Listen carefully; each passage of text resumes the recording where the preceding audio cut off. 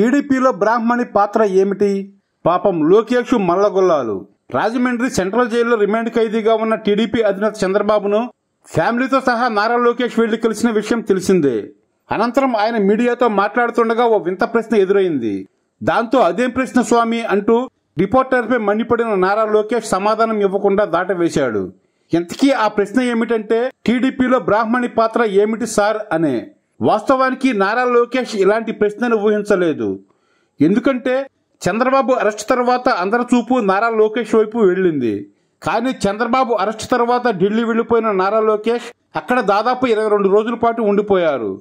దాంతో అతని భార్య నారా బ్రాహ్మణి అన్ని తానై తన అత్త భువనేశ్వర్తో కలిసి ఏపీలో దీక్ష నిరసన ఆందోళన కార్యక్రమాలు చేపట్టింది.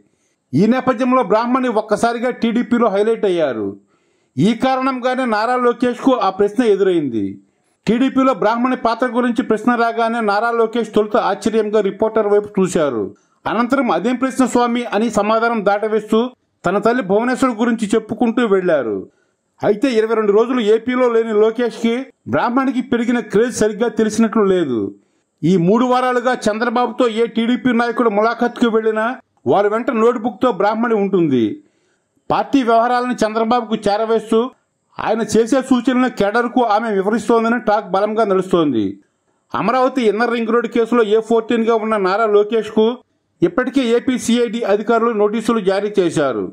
విచారణ తర్వాత లోకేష్ కూడా అరెస్ట్ అయ్యే అవకాశం ఉందని ప్రచారం జరుగుతోంది.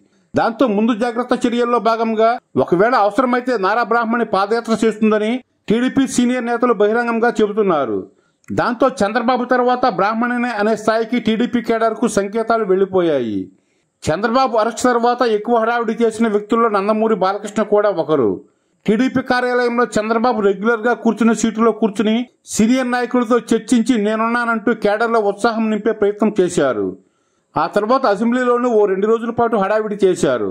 దాంతో టీడీపీ మళ్ళీ నందమూరి చేతుల్లోకి వెళ్ళబోతుందని ప్రచారం జరిగినా ఇప్పుడు ఆయన హైదరాబాద్కు మాత్రమే పరిమితం అయిపోయారు బాలకృష్ణకు బదులుగా ఆయన కుమార్తె నారా బ్రాహ్మణి ప్రస్తుతం టీడీపీలో కీలకంగా వ్యవహరిస్తున్నారు.